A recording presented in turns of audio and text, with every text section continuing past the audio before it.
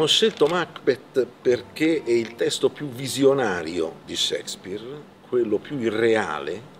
comincia con l'apparizione delle streghe, è ossessionato da predizioni,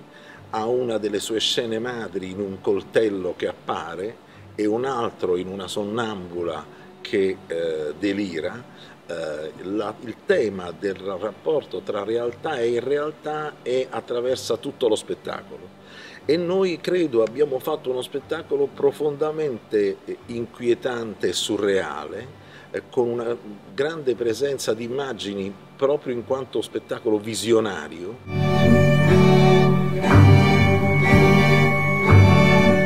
C'è una frase nel Macbeth su cui si sono interrogati eh, decine di studiosi e c'è l'allusione de della Lady ad un allattamento, il che fa pensare che ci sia stato un loro figlio però di questo figlio non c'è traccia, anzi i, i coniugi regnanti eh,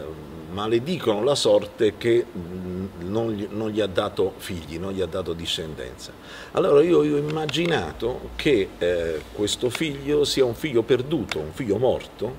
che questo abbia reso eh, così eh, slabrata, così scollata la mente dei protagonisti e eh, questo bambino morto aleggia eh, nella, nella vicenda, persino nel manifesto dello spettacolo.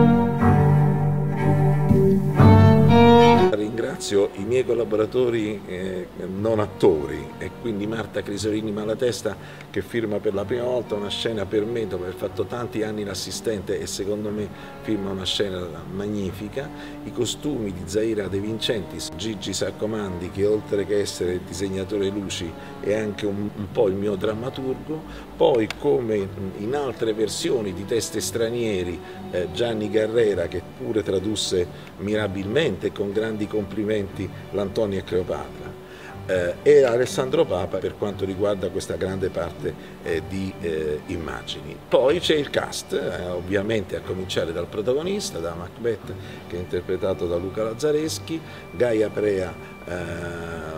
fa invece Lady Macbeth. E poi ci sono quella che è diventata la squadra di questa compagnia, Giacinto Palmarini, Claudio Di Palma, Paolo Serra eh,